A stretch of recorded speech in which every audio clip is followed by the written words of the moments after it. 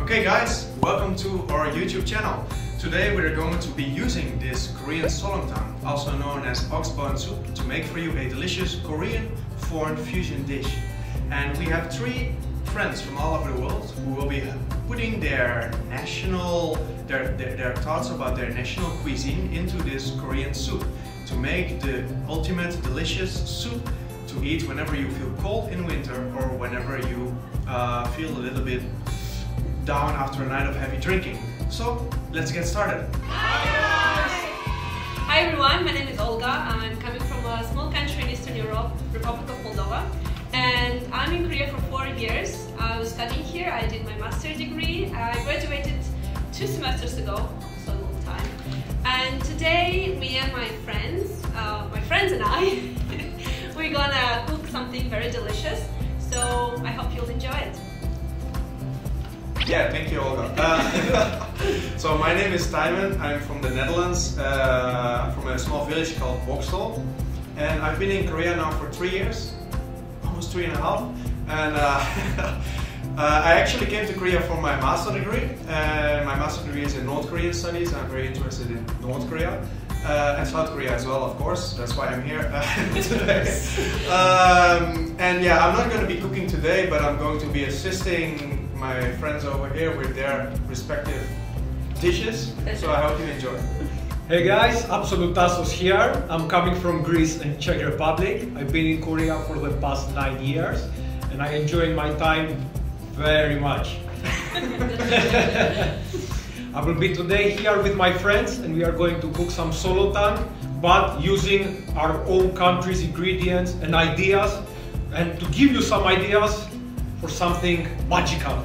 uh, I hope you join me in my parties here in Korea as well, so we can always can have online and offline. Let's have fun.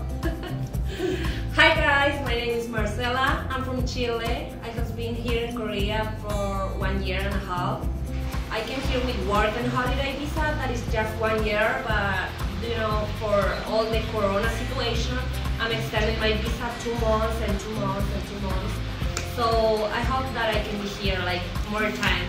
So yeah, let's have fun. Hi everyone. Um, today I'm gonna transform this amazing soup, Korean soup, in a traditional Moldavian or Romanian soup, which is called ciorbă de perișoare. And for that, it's very easy. It's a very easy ingredient. For that, we'll need only uh, onion and uh, carrots. Um, also, the most important ingredient there are the actually are the uh, meatballs, which we're gonna add into the soup. So let's try to prepare something tasty for my friends. I hope they will enjoy it. One. Okay, it's good. Um, we'll add some olive oil to. I think I'm doing this too fast, but anyway, um, I'm adding some olive oil to have the soup be more like more um, to look good, to look bit tastier. Olive oil is always good my uh, big friend will agree with me. We have to cut the onion.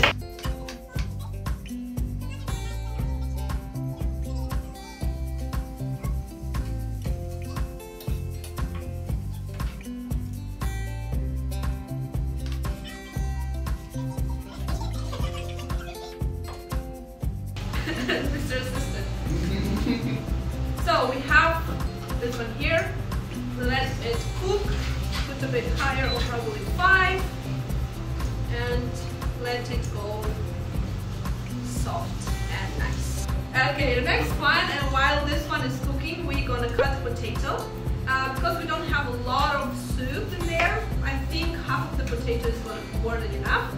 So for my friends who will need a potato, they can use mine. Yes, I'm nice. Thank you. Such a nice person. Um, so we are cutting the potato in small pieces because the soup is already almost done. So we don't want to boil it for a very long time. That is why we will cut the potatoes smaller so you can boil it. They're gonna be, they will boil faster. So I think this kind of size is more than enough. Um, and you'll ask yourself why potatoes in a Korean soup? well, since we're making this mixing tradi- traditions soup, mixed tradition soup, uh, back home we have potatoes for breakfast, we have potatoes for lunch, and we have potatoes for dinner in different ways. We cook them in different ways. So we have mashed potatoes and uh, we have fried potatoes, boiled potatoes, and this was my first time and I was like, wow, this is so white, so weird. But the interesting thing is that they are boiling this ox bones for like 10 hours, two or three changing the water, so the soup becomes really white and very like clear and nice. And um, yeah, I think we can add here the soup now. So I think you can see how white it is. And it has some meat here at the end too. You can add it or leave it, it's just your you. Oh, nice. Enough. We'll it a little bit. And we will prepare, oh, yes, I almost forgot. Um, we have to put a bit of uh, bay leaves. We use a lot of bay leaves back home because the smell is so good. I really love it. I'll put a small one. And also some uh, black pepper, a few of them. Okay cover this and you can put it at the end when everything is done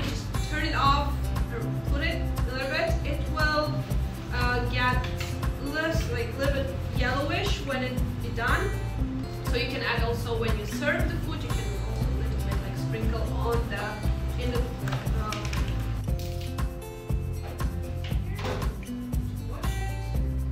Okay, that's gonna be better.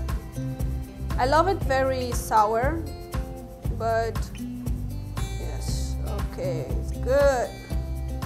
I love it sour, so I'll put a little bit more. You're talking about me there. okay, let's see. Great. And we can add a little bit of parsley here, so you'll have taste. But you can leave a little bit so you can add when you are almost done, when you're putting less on the.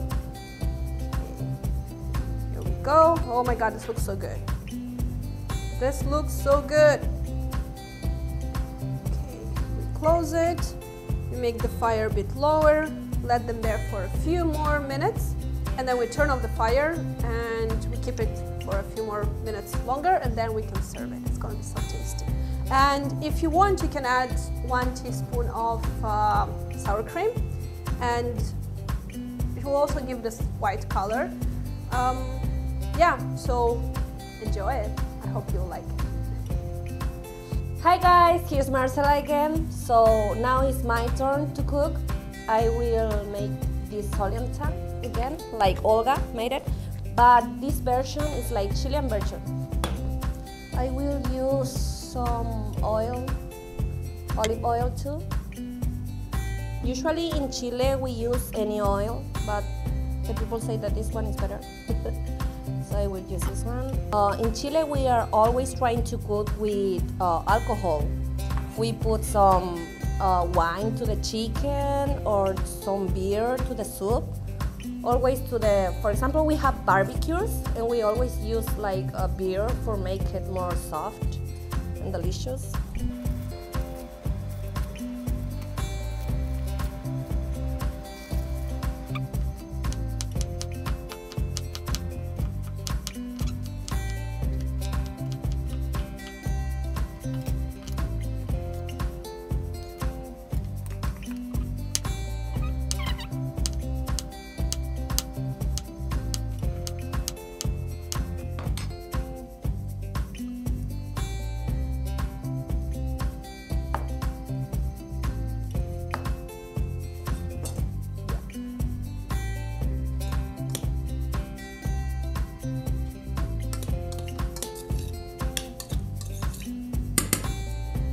Now I will put some beer that will make it tastier.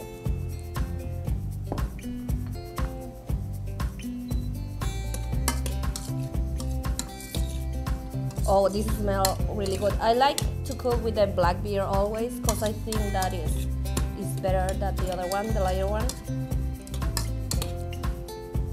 So now is the moment that you put the salt, but the beer is already salty, so uh, I, I, I won't put.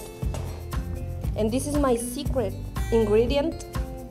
We always, in Chile, we always put pumpkin in our soups.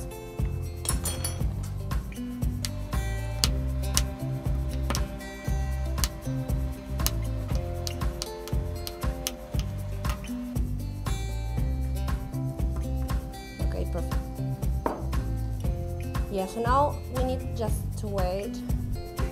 I think that five minutes, five minutes, six minutes will be okay.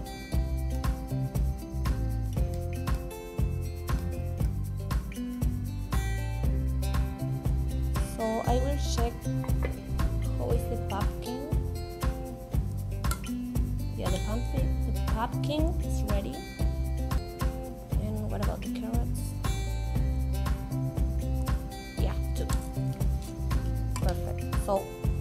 Usually in Chile we, we don't use this kind of corn. We use the other one that is like the big one, the big one that you cut like in a slice and you put it inside uh, at the beginning of the soup. So then the corn have all the flavor of the soup. But I this time I will I will use this one. Simon, can you help me?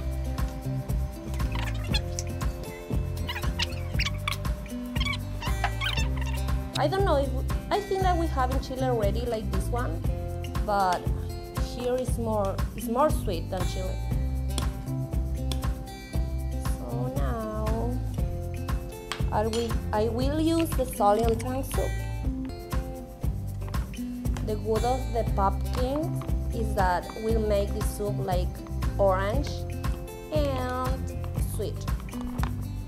So will be perfect because I wanna put some Actually, I bought this that I was thinking that was spicy, but it's not. So it's just for the color. And then I will add this one that is spicy, and it's really good because the spicy is just in your mouth and it's not burning your. So I will let it there like two minutes. Usually we don't add the, the spicy things to the soup already. I mean, when are you cooking? When you are cooking, we add it after when the soup is in the plate. So I will wait for that moment. So vacuum.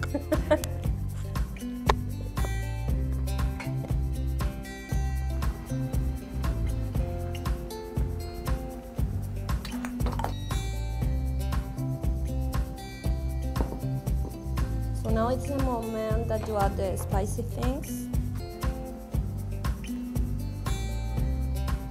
Not too much, because this is really spicy.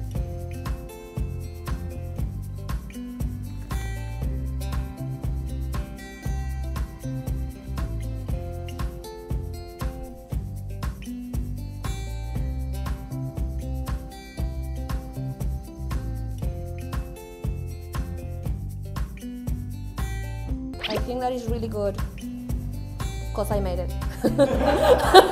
so thank you guys.